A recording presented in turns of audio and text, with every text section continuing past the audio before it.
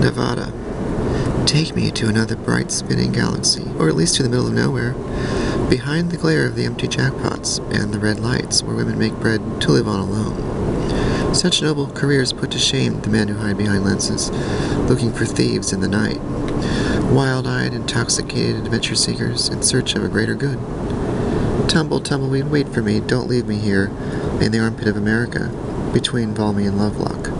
I don't have enough stories to entertain truckers, or enough dollars for a train ride home. Be a sage and offer me your wisdom, but not in the palm of your hand. I promise I will return more than once a year. If absurdity and beauty reunite too, we will paint a portrait more amazing than the Ruby Mountains under a full moon.